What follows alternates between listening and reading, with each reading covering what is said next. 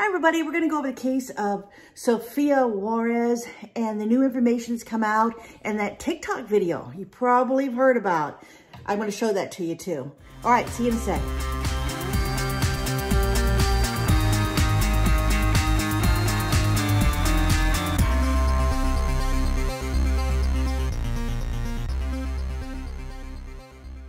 So give, let me give you a little bit of background. Sophia Juarez, she was four years old, almost five, when she went missing back in Kennewick, Washington on February 4th, 4th, 2003. She went out of the house. She was, was supposed to be following her father and they don't know exactly what happened, how she ended up where she was and she just went missing. And she has never been found since. And things have pretty much been quiet for a while. And then a TikTok video popped up. Now, if you remember back uh, about back in March, there was a woman that was found in Mexico who was homeless and they thought that she was a missing person. Well, this is the same thing we got going here, except this is a TikTok video of a guy doing a interview with this young woman. And this is when this information came out that she said she had been held captive and now she was looking for a family. So the man is from Sonora, Mexico, or he was in Sonora, Mexico. And he has a TikTok account that, uh, let me see if I get this right, uh, Gia Yaya is a TikTok account and he did the interview and uh, he talked to the woman and she spoke in Spanish. And so I had to go through a lot of different um, media resources and things like that in order to find out exactly what she said so I could get the translation correct. And one of the, so she says, the truth is, or you know what? Let me show you the video. Let me show you the video, then I'll go back and tell you uh, for those that don't speak Spanish, I'll, I'll let you, I'll give you what I learned, what was in that video. So you watch it next. Tengo 22. 22 años y contando. Haz de cuenta que no, no puedo contar tantos porque son muy, muy, muy bajos. Pero ya no tiene ganas de seguir cumpliendo, ¿o sí? Pues por el momento no, porque estoy muy ocupada. Ah, estás muy ocupada para seguir cumpliendo años, pues. De verdad, no me gusta cumplir años, me chocan cumplir años, de hecho. Le quiero mandar un saludo a mi tati y a mi nana. si están viendo este programa, quiero decirle que vengan por mí porque aquí estoy secuestrada. No, yo no te voy a secuestrar. pues dice que estoy secuestrada, otros dicen que ando en Italia, otro en Japón. O que vengan por mí, porque la verdad no sé de dónde soy, si soy de aquí o soy de allá. Estás en Culiacán, Sinaloa. Estoy en Culiacán, Sinaloa. So one of the things I've picked up is she says, the truth is I don't know where I'm from. And she said she was addicted to drugs and also that she was said hello to her grandparents and she was asking her grandparents to come pick her up. Now, she said she was 22 years old, but that she wasn't sure. She had stopped uh, celebrating birthdays and she lost track. Now, we know that Sofia would be 23 years old. Now, 22, 23, that's very, very close. Now, that was it on that video, but through the process, and you know social media, they latched onto this and they started thinking, okay, is she a missing woman from the United States? And they did some comparison and they came up with uh, Sofia Juarez when she went missing back in 2003 and they did the computation, said, you know, the, the dates are right. They would match this young woman and it could possibly be her. Now, the police do know about this one. You know, the other one with uh, Jane McDonald Crone, we never were clear if the U.S. authorities were brought into that case or not. But this one, we know that the police chief said, yes, he's aware of the TikTok video and they were going to pursue it. And what they needed was DNA. Let me put the dog down for a second to see. Hello.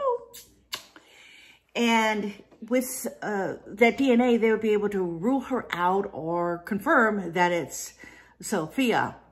Now, the problem is they don't know where she's at. They've lost track of her. And this is pretty typical. I've got a lot of stories on missing homeless people in Mexico.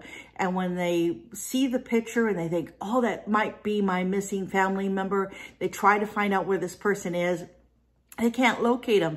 They try calling the embassy and it's very limited because of the trying to uh, get what you're trying to do across with when you don't have any knowledge or any Spanish behind you. It's really makes it difficult.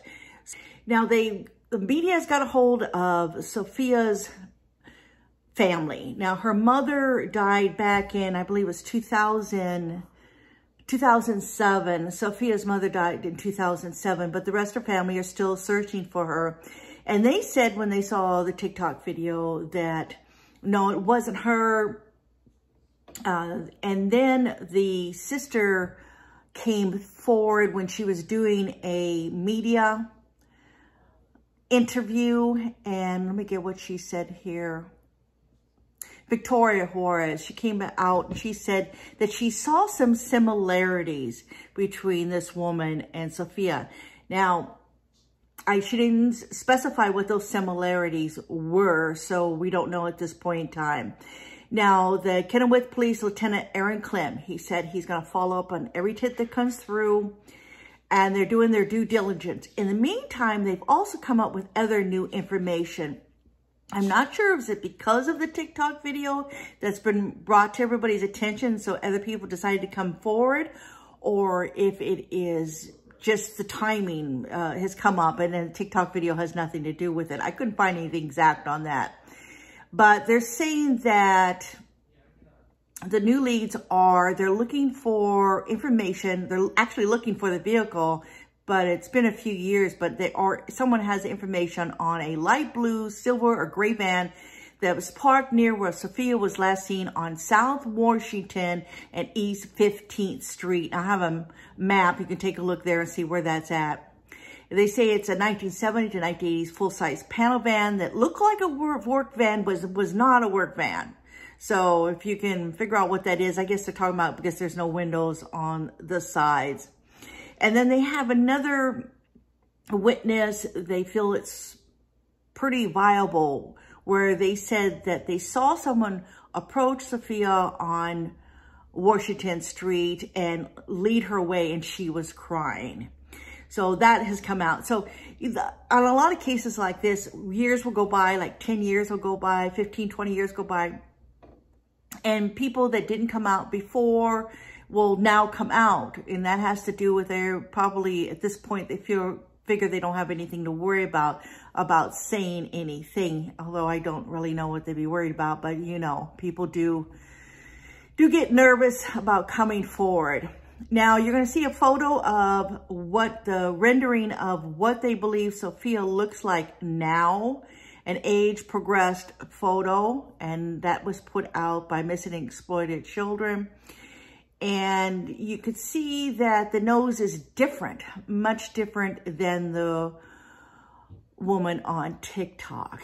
Now, you know, they have to kind of estimate what these features will look like as somebody grows and whether that nose is accurate or not, we don't really, really know. Now, on my Missing Persons of America website, you can go and see the story, and you also can take a look at the links that I have placed in there for the Jane McDonald Crone story that I spoke about that came out in March when they thought that they had found her. And you can also look at the other story where I have a missing homeless Americans in Mexico. And that's a really long story and has lots of photos of people that have been seen in Mexico and the photographs were taken and sent over to me. And uh, then I have listed them there. And you can take a look and see if there's anybody there that you think you recognize if you're looking for your family member.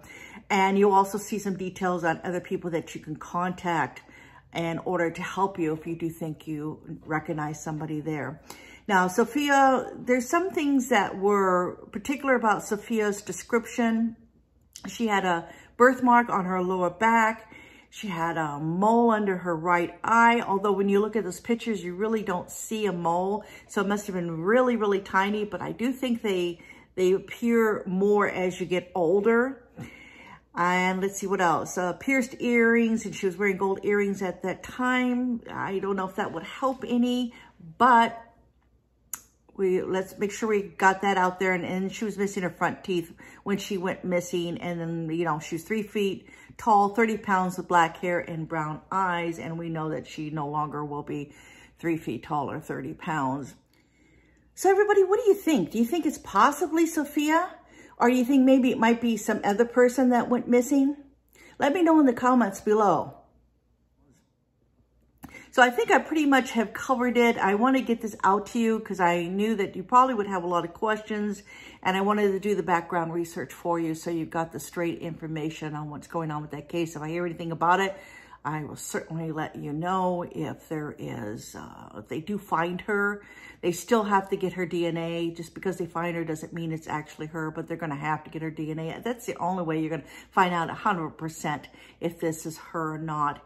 And then she has to be found, and then we have to have cooperation with Mexico, I'm sure, in order to get all these loose ends tied up and to confirm that it actually is Sophia. So this is not something that's going to take a day or two. It may be weeks before we get to the bottom of what's going on with this case if she is located. All right. Thanks, everybody, for listening. Bye-bye.